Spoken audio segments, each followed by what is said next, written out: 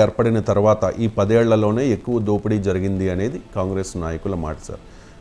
Especially ఇక్కడ కాళేశ్వరం ప్రాజెక్ట్నే ఎక్కువగా అక్కడ అవినీతి జరిగిందని చెప్పి చెప్పే ప్రయత్నం చేస్తూ ఉన్నారు. నేను కాళేశ్వరం సందర్శనకు కూడా సీఎం బృందం వెళ్ళింది. ఇక్కడ కాళేశ్వరంపై లేనిపోని ఆరోపణలు చేస్తూ ఉన్నారు అనేది బీఆర్ఎస్ నాయకుల వాదన సార్. కాళేశ్వరం అంటే ఒక మేడిగడ మాత్రమే కాదు చాలా బ్యారేజీలు ఉంటాయి రిజర్వాయర్లు ఉంటాయి పంప్ హౌస్లు సమాహారం అని చెప్పి చెప్తూ ఉన్నారు. ఒకటో రెండో చిన్న చిన్న మిస్టేక్స్ జరిగితే దాన్ని మొత్తం అన్నిటికీ ఆపాదించి కాళేశ్వరం ప్రాజెక్ట్ అంతా పెద్ద వృధా పెద్ద దోపిడీ జరిగిపోయిందని చెప్పడం కరెక్ట్ కాదు అనేది బీఆర్ఎస్ వాదన. ఏది నిజం? మేడిగడ్డ పిల్లర్లో ప్రాబ్లం కన్నా ముందు కూడా కాళేశ్వరం పైన ప్రశ్నలు ఉన్నాయి.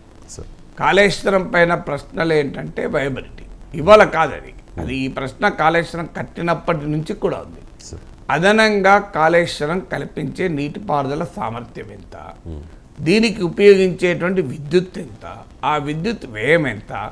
Per acre cost of cultivation ఎంత? అనేది డే వన్ నుంచి ఈ ఛాలెంజ్ ఉంది. ఇవాళ కొత్తగా వచ్చింది కాదు. ఎందుకంటే వా- గోదావరి నదీ జలాలు తెలంగాణలో దిగువ నుంచి వెళ్తాయి. అందువల్ల ఎత్తిపోతలు తప్ప మోస్ట్ ఆఫ్ ద ప్లేసెస్లో అవకాశం లేదు. అందువల్ల అది ప్రకృతి తెలంగాణ పట్ల చూపినటువంటి ఒక రకమైన నిర్లక్ష్యం ఒక వివక్ష.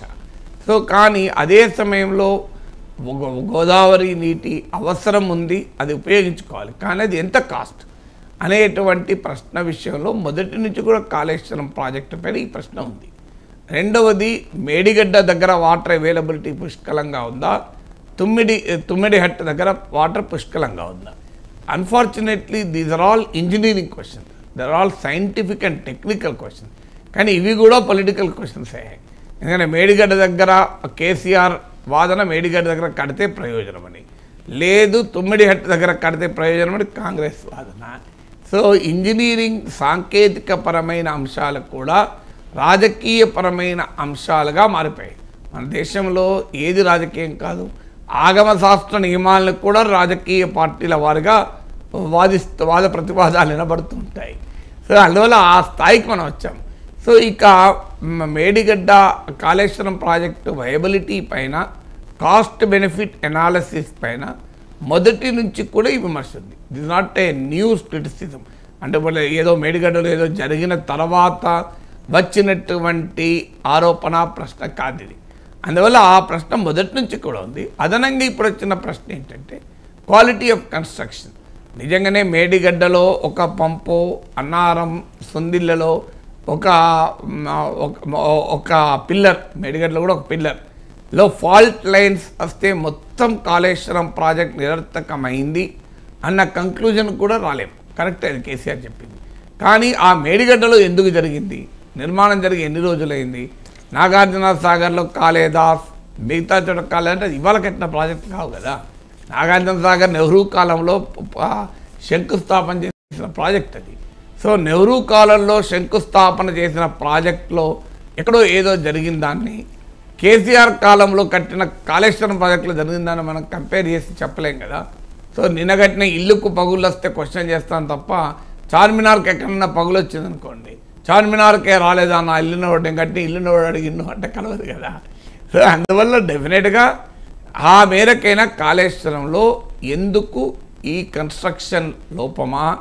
లేకుంటే ఇది మనం ఏమీ చేయలేని సాంకేతికపరమైన సమస్య దీనిపైన రాజకీయాలకు అతీతంగా జరగాలి.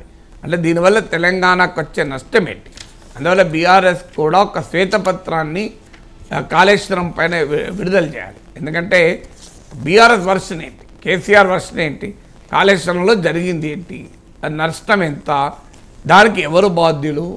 దానికి మరి ఎవరు ఇప్పుడు మూల్యం చెల్లించాలి? దాని పునర్నిర్మాణ ఖర్చు ఎంత పునర్నిర్మాణ భారం ఎవరిది? ఇది ఓన్లీ మేడిగడ్డలోనే ప్రాబ్లమా? అన్నారం సుందిల్లలో కూడా ప్రాబ్లం అంటున్నారు కదా.